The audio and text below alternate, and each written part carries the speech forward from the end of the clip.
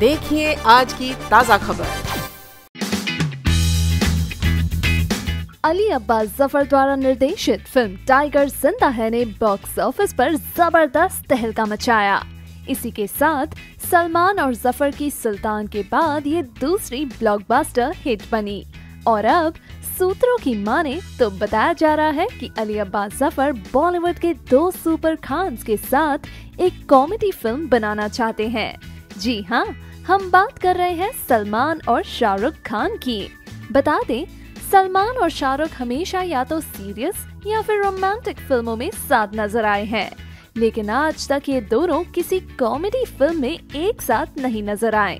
इसीलिए इन दोनों की केमिस्ट्री को देखते हुए अली इनके साथ एक कॉमेडी फ़िल्म बनाना चाहते हैं। बता दें, हाल ही में फ़िल्म ट्यूबलाइट में शाहरुख खान नज़र आए थे। और खबरों की माने तो शाहरुख की आने वाली फ़िल्म ज़ीरो में सलमान नज़र आ सकते हैं। वेल well, अली अब्बास सफ़र की दोनों खान्स को एक साथ कॉमेडी फ़िल्म में कास्ट करने की ख्वाहिश पूरी होगी या नहीं ये तो वक्त ही बताएगा। आपकी इस बारे में क्या राय है? हमें नीचे कमेंट सेक्शन में बताएँ। बॉलीवुड से जुड़ी ऐसे ही मसालेदार खबरों के लिए देखते रहिए बॉलीवुड स्पाई मेरे यानी मंदिरा टैगोर के साथ।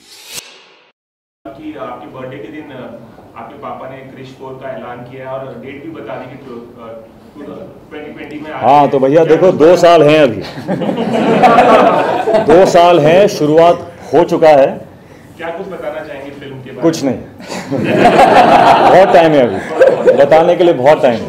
कुछ कुछ भी थोड़ा नहीं अभी तो आ, स्क्रिप्ट पर काम अब तक चल रहा है। आ, बहुत कुछ लॉक हो चुका है लेकिन अब तो शुरुआत है बहुत ही मतलब लगने वाला है टाइम मैं अब कुछ नहीं बता सकता। हूँ बात है नहीं है। आनंद कुमार की बायो टाइगर ज़िंदा है के बाद अब सलमान खान की अगली फ़िल्म रेस थ्री पर हर कोई नज़र टिकाए बैठे हैं। ऐसे में रेस थ्री से जुड़ी एक दिलचस्प खबर आई सामने। वैसे तो डायरेक्टर रेमो डिसूजा के निर्देशन में बन रही ये एक्शन एंटरटेनर किसी न किसी वजह से सुर्खियाँ बटोरती रहती है। और अब रेस थ्री के सुर्खियों में आने का कारण बनी यूलिया वंतूर। दरअसल सलमान खान की rumoured lady love Iulia Vantur ने रेस थ्री के लिए गाया है एक गाना। जी हाँ इससे पहले जग घूमिया के रिप्राइज वर्जन और हिमेश रेशमिया के साथ एल्बम में यूलिया की आवाज़ और मौसीकी तो हम सुन ही चुके हैं। और अब खुद सलमान के फ़िल्म में भी होगा यूलिया मैडम का गाना। वैसे अगर रेस थ्री की बात की जाए तो रेस के इस तीसरे इंस्टॉलमेंट में सलमान खान समेत जैकलीन फर्नांडिस बॉबी देओल, साकिब सलीम और डेजी शाह मुख्य किरदारों में दिखाई देंगे। तो दोस्तों, आपकी इस बारे में क्या राय है? हमें नीचे कमेंट सेक्शन में बताएँ। बॉलीवुड से जुड़ी ऐसे ही मसालेदार खबरों के लिए देखते रहिए बॉलीवुड स्पाई। जब से टाइगर ज़िंदा है ने बॉक्स ऑफ़िस पर दस्तक दिया, तभी से टाइगर का तीसरा इंस्टॉलमेंट सलमान खान के फैंस की दिली ख्वाहिश बन चुकी है। और अब सलमान ने भी टाइगर के तीसरे इंस्टॉलमेंट का किया ऐलान। जी हाँ एक लीडिंग एंटरटेनमेंट पोर्टल के साथ इंटरव्यू के दौरान सलमान ने किया ये धमाकेदार अनाउंसमेंट इस दिन टाइगर सीरीज़ के तीसरे फ़िल्म की बात छेड़े जाने पर सलमान ने बताया टाइगर सीरीज़ की अगली फ़िल्म जल्द ही होगी। इसमें पाँच साल का वक्त नहीं लगाया जाएगा। अगर आपको पता ना हो तो बता दे, एक था टाइगर के पाँच सालों के बाद टाइगर ज़िंदा है ने बॉक्स ऑफ़िस पर दस्तक दिया था।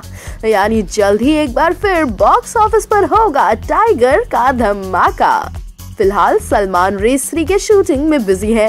तो दोस्तों, क्या आप एक बार फिर बॉक्स ऑफ़िस पर टाइगर की दहाड़ सुनने के लिए हैं तैयार? वेल हमें अपने विचार बताइए नीचे दिए गए कमेंट सेक्शन में और बने रहिए बॉलीवुड स्पाई के साथ। सलमान खान की हालिया रिलीज़ टाइगर ज़िंदा है। हर रोज बॉक्स ऑफ़िस पर कमाई के नए रिकॉर्ड्स कायम कर रही है। इसके अलावा सलमान रेस थ्री और भारत की तैयारी में भी जुटे हुए हैं। रेस थ्री की शूटिंग खत्म होते ही सलमान भारत की शूटिंग में व्यस्त हो जाएँगे। वैसे तो सलमान की हर फ़िल्म में उनका शर्टलेस अवतार देखने को मिलता है। लेकिन मिली जानकारी के मुताबिक, फ़िल्म भारत में सलमान का ये शर्टलेस अवतार नहीं होगा। एक हालिया इंटरव्यू के दौरान, डायरेक्टर अली अब्बास ज़फ़र से भारत पर सवाल किए जाने पर उनका कहना था, हर फ़िल्म में सलमान का शर्टलेस लुक देखने को मिलता है, लेकिन फ़िल्म भारत में वो शर्टलेस लुक नहीं दिखेगा। टाइगर ज़िंदा है और सुल्तान के मुकाबले भारत काफ़ी अलग फ़िल्म होगी। अब ये खबर सुन सलमान के फैंस शायद थोड़ा निराश हो जाएँ। मैं हूँ मेघा।